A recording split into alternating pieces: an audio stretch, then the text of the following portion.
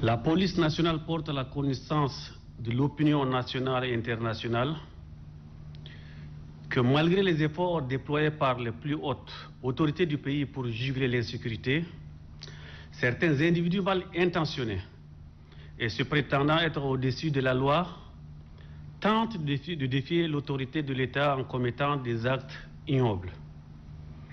Le dernier, en date du 11 juillet 2021, est l'assassinat du nommé Mohamed Ali Dari Sougui sur l'avenue Maldombada Abbas par un individu à bord d'un véhicule de marque Toyota Hilux à vitres fumées et sans plaque d'immatriculation.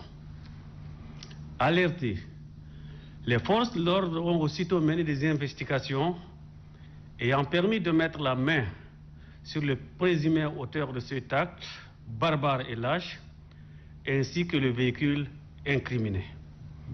Il sera déféré à la justice et une enquête est en cours pour appréhender des éventuels co-auteurs et ou complices. La police nationale voudrait par la même occasion remercier la population pour sa franche collaboration et l'exhorte à faire davantage en dénonçant tout acte suspect.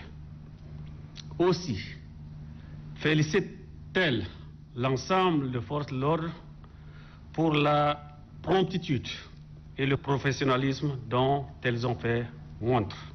La police nationale attire l'attention de la population de ne pas se laisser fier aux informations erronées véhiculées sur les réseaux sociaux.